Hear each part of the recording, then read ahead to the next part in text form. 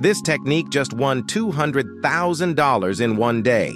As many of you know, jig head and minnow style presentation is absolutely dominating every tournament right now. Today is just another example that if we don't learn how to ping a minnow, it is going to get increasingly difficult to compete in tournaments, especially in winter months.